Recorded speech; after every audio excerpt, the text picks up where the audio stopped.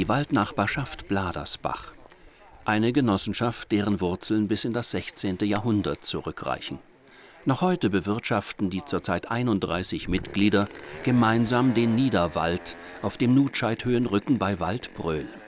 Heute ist Abholzen in einem der abgesteckten Orte auf dem sogenannten Galgenberg angesagt.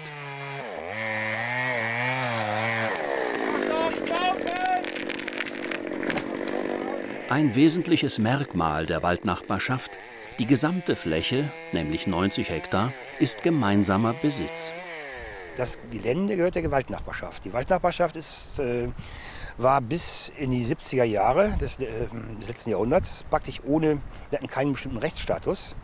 Und durch das Gemeinschaftswaldgesetz in Nordrhein-Westfalen hat man uns jetzt den Status einer Körperschaft des öffentlichen Rechts gegeben. Letztendlich gehört der Wald aber allen Mitgliedern der Waldnachbarschaft. Die Anteile können vererbt und verschenkt werden. Bei Verkauf jedoch fällt der Waldnachbarschaft das Vorkaufsrecht zu. Alle Sachen werden gemeinschaftlich beschlossen und werden praktisch mit Mehrheit entschieden. Und solange wir die Einwohner hier noch hinter uns haben, alle, beziehungsweise wenn die alle zusammenhalten, ist es zwar nicht schön, wenn wir Auswärtige haben, aber halt, wir müssen damit leben.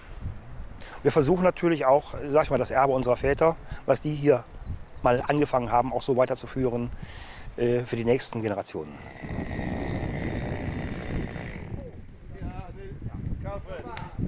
Wir haben also aufgrund unserer Fläche, die wir hier haben, diese Niederwaldbewirtschaftung, in den, vor ca. 20 Jahren mit dem Land Nordrhein-Westfalen bzw. im Oberbergischen Kreis einen entsprechenden Vertragsnaturschutz abgeschlossenen Vertrag und bekommen hieraus eine gewisse Entschädigung, damit wir das nicht in Hochwald überführen. Weiterhin haben wir eine Eigen, Eigenjagd hier, die wir verfachten und äh, halt durch Holzverkäufe in bestimmten Rahmen. Aber wir sind also nicht der Holzproduzent oder das, was man sich letztendlich vorstellt.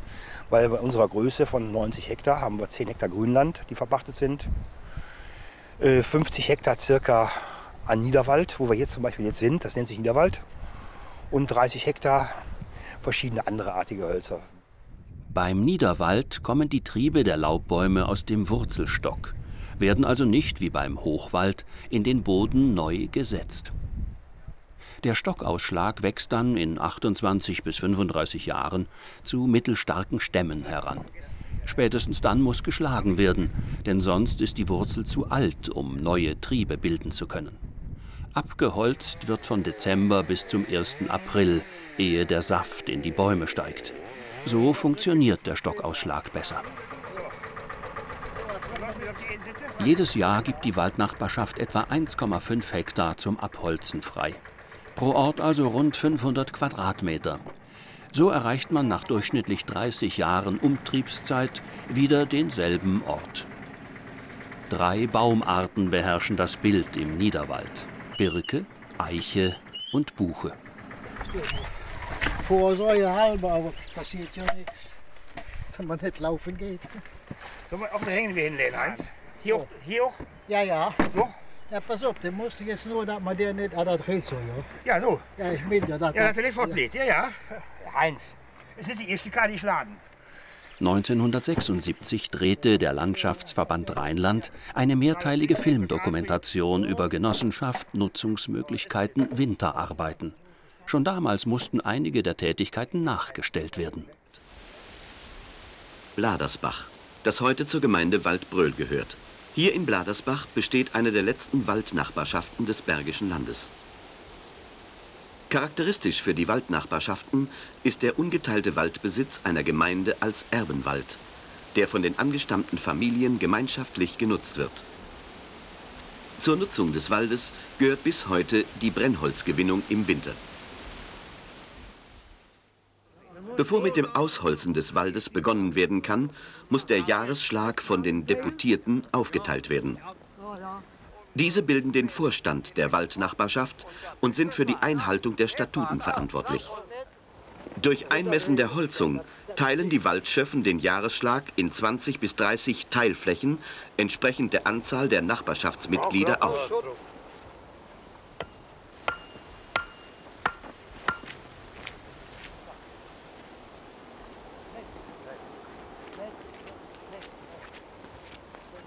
Die Grenzen der Örter, wie man die abgeteilten Waldstücke nennt, werden durch das Einschlagen von 1,20 Meter langen Grenzpfählen markiert.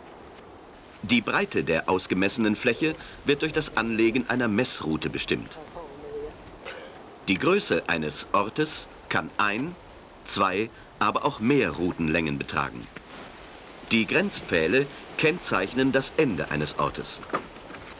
Die eingeschnittene Zahl zeigt in die Richtung der Waldfläche, der sie zugeordnet ist.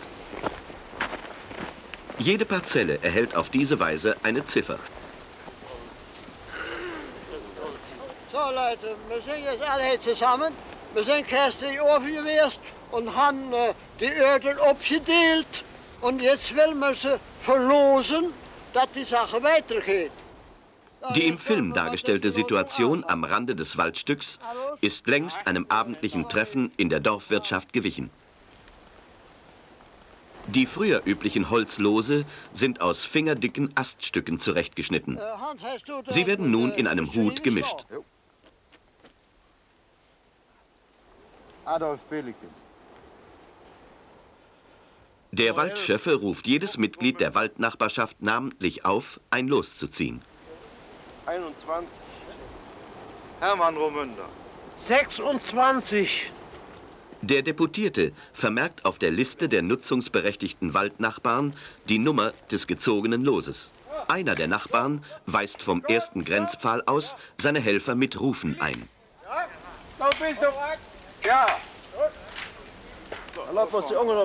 Von seinen Rufen geleitet, legt man den Verlauf der gemeinsamen Grenze durch Markieren der Stämme mit der Sichel oder dem Beil fest.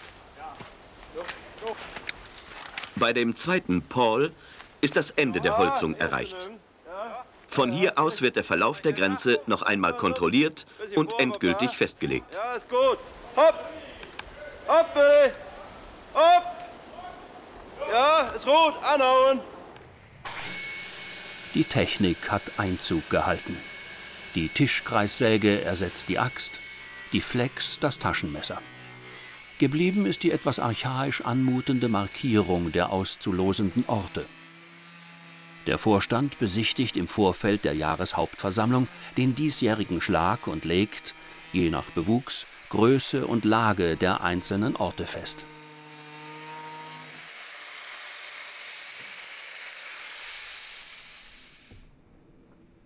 Werner Rohmünder, der Vorsitzende der Waldnachbarschaft, leitet die Jahreshauptversammlung. Rund zwei Drittel der berechtigten Mitglieder sind gekommen, ebenso der zuständige Forstoberinspektor. Dies zeigt die enge Zusammenarbeit zwischen Genossenschaft und Forstamt, die auch der Förster zu schätzen weiß.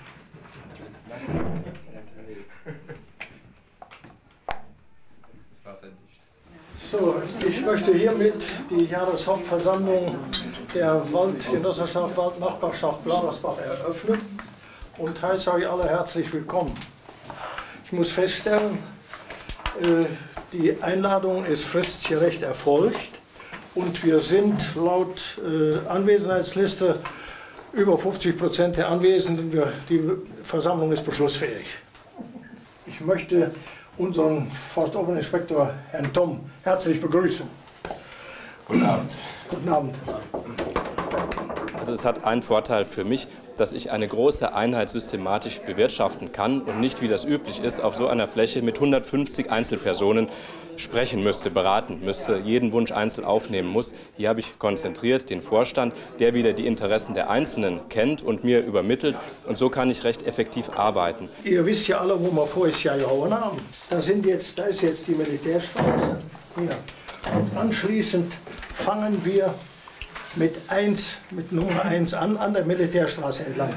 Mit 1 an bis 15 und gehen dann mit 16 drunter weiter bis haben wir mal bis 28 haben wir mal abgesteckt. Also ich habe jetzt hier als Holzverzicht äh, Hört mal eben zu. Einige der Mitglieder verzichten auf ihren diesjährigen Ort. Sie bekommen hierfür eine entsprechende Entschädigung. Manfred und Rumünder Werner. So, die haben jetzt Holzverzicht, weil jetzt keiner mehr sonst noch verzichten will. Okay. Dann fangen wir an. Ja. Gut. Äh, Manfred Adolfs.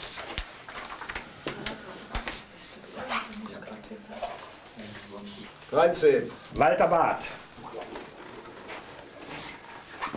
Ist das hier sind verschiedene? 16.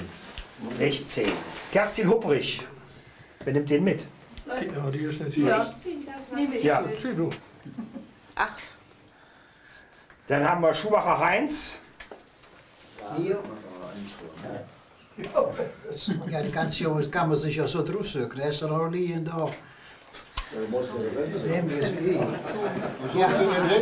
Äh, wie jedes Jahr, ich habe es jetzt nicht aufgeschrieben, äh, die Nadelhölzer, die auf den jeweiligen Orten stehen, sollen komplett abgemacht werden. Ja, äh, pass mal auf. Die, die Fältchen oben an der, an der Militärstraße, die haben wir extra zurückgeschlagen, was in den Bestand rein, damit das nicht ausgezogen werden.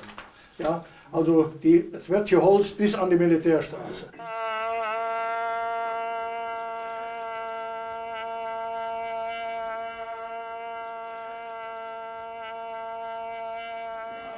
Laut Statuten genießen nur diejenigen Buschgerechtigkeit, das heißt Anrecht auf Teilhaberschaft am Gemeinschaftswald, die ihren Anteil von einem nutzungsberechtigten Elternteil geerbt haben. Die Waldnachbarn beginnen das Ausholzen des Waldes mit dem Schlagen der zur Lohgewinnung ungeeigneten Bäume, wie Birken, Hainbuchen und Erlen.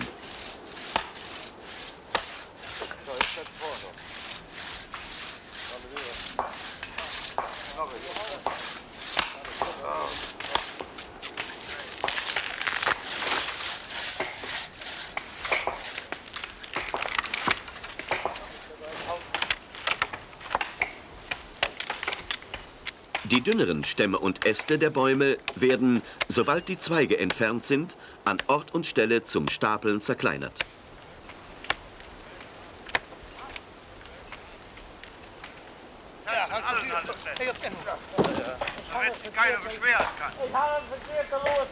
Ist das Ausholzen beendet, stapeln die Waldnachbarn die gefällten Stämme am Waldrand. Diese Stapel bleiben bis zum Abtransport Ende Mai liegen.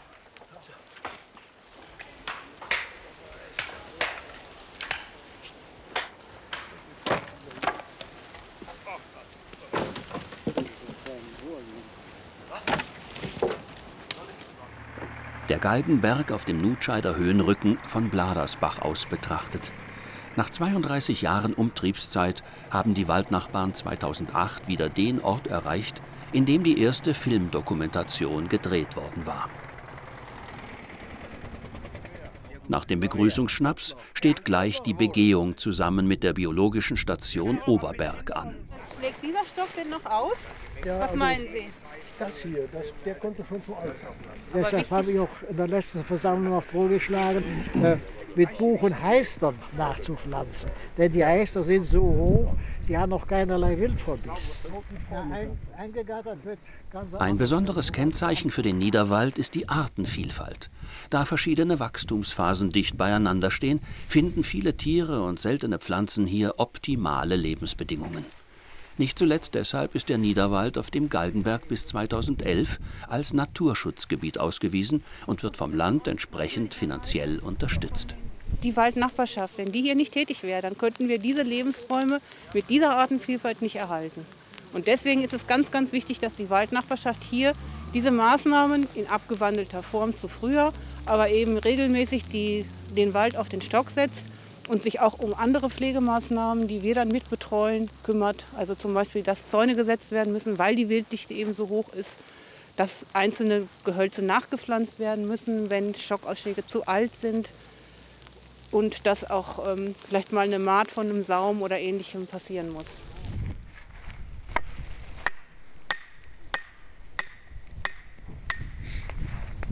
Kannst du anreißen?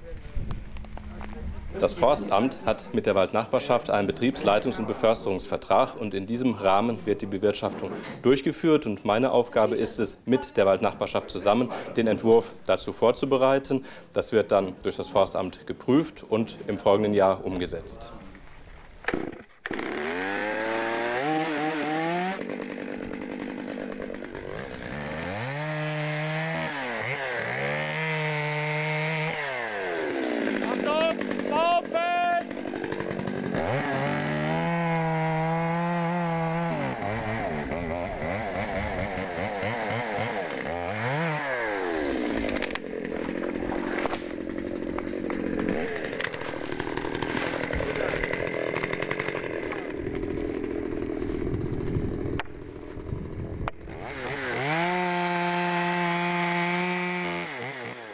Was hat sich verändert in den letzten 32 Jahren?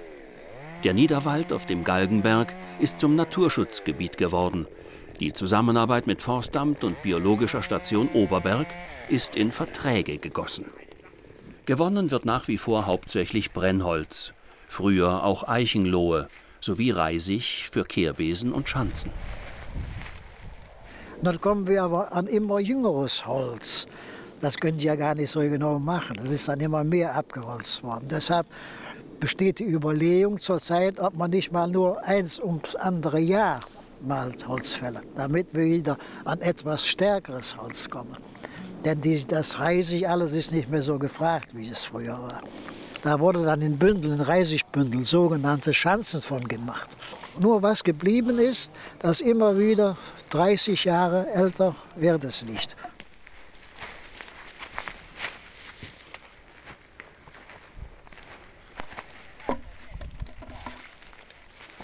Die Bauern haben also dieses äh, das Laub für das Vieh benutzt, haben die Reisig, da haben sie Besen von gebunden, teilweise für das Anmaßholz gebraucht und bis in die 60er Jahre hat man von dem Eichenholz auch hat man es für Lohschälen. Die aus der Eichenrinde gewonnene Lohe benötigte die Waldbröler Lederindustrie zum Gerben. Der letzte Lohgerber im Ort stellte Anfang der 1960er Jahre seinen Betrieb ein.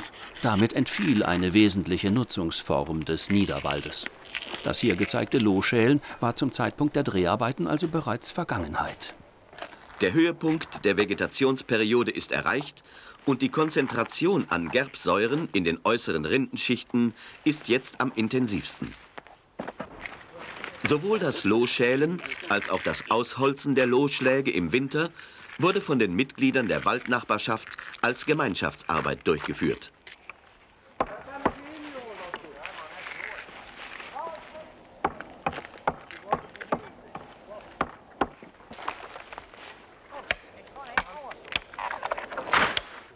Mit Hilfe zweier Astgabeln bocken die Waldnachbarn sodann den Stamm auf.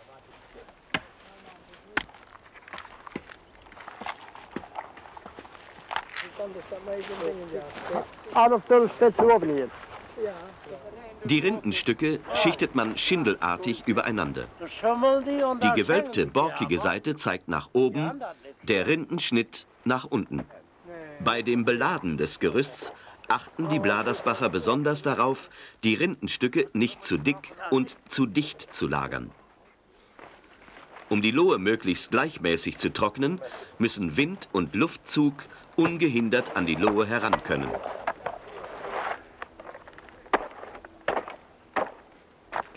In Bladersbach nutzte man das Reisig zum Anfeuern der Herde und zum Anheizen der Backöfen. Wiederum mit frischen, gedrehten Birkenzweigen binden die Männer die Reisigbündel an beiden Enden zusammen und bringen sie an den Rand der Parzelle. Zusammen mit den Lohstangen und dem im Winter ebenfalls in Gemeinschaftsarbeit geschlagenen Brennholz laden die Männer die Reisigbündel auf einen Wagen. Heute nicht mehr üblich die Gewinnung von Stallstreu im Wald. So, komm los, wir sind durchholen, dann tun wir Zug voll machen. Ja.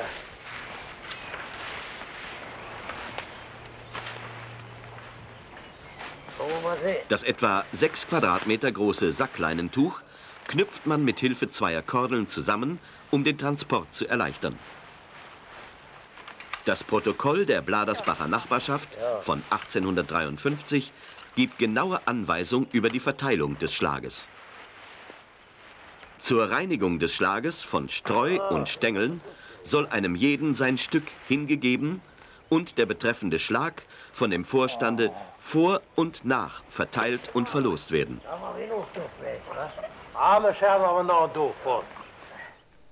Gemeinsam mit der Volkshochschule finden regelmäßig geführte Wanderungen durch das Naturschutzgebiet statt. Als sachkundige Führer agieren Dietmar Rötzl und Christoph Weidkemper von der Biologischen Station Oberberg. Karte erwähnt und die stammt aus dem Jahr 1575, ist also durchaus schon eine historische Stätte hier auch. Durch diese Abfolge der verschiedenen Phasen auf kleinen Flächen dicht nebeneinander ist der ähm, Niederwald ein optimales Biotop für die verschiedensten Arten, die eben auch auf die verschiedenen Phasen angewiesen sind. Das können Insektenarten sein, aber auch Vogelarten. Und Charakterart hierfür ist das Haselhuhn, was auch damals ausschlaggebend war für die Ausweisung des Naturschutzgebietes. Ich habe jetzt noch mal einen Plan mitgebracht über die Einschläge, die wir in den letzten Jahren gemacht haben. Wie man sehen kann, wir versuchen auf den 50 Hektar Niederwald, die wir haben, den so zu gestalten, dass wir eine Umtriebszeit von 30 bis 35 Jahren bekommen. Das heißt, wir fangen hier an und in 35 Jahren sind wir wieder an der Stelle, wo wir Holz abmachen.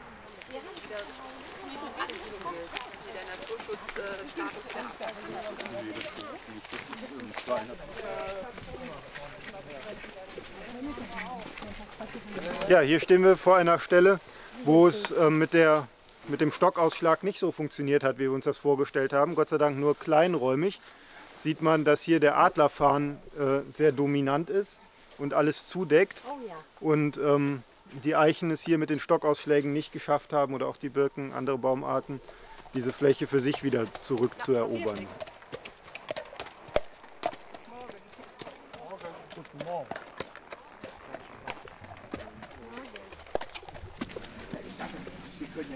Werden, außer in bestimmten Gebieten. Ich meine, da wäre das hier auch. Ja. Bislang stand hier ein Fichtenhochwald. Die Waldnachbarschaft hat das Areal roden lassen und wird es in Niederwald überführen.